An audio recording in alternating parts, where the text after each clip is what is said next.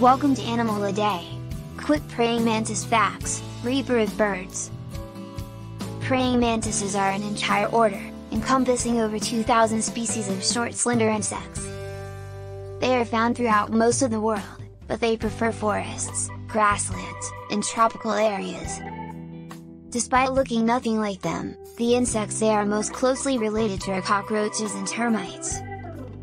Praying mantises are carnivores and ambush predators who love to devour prey alive. They mainly eat insects, but they can also kill and then eat much bigger animals like hummingbirds and lizards. Female praying mantises occasionally behead and consume their partner during mating.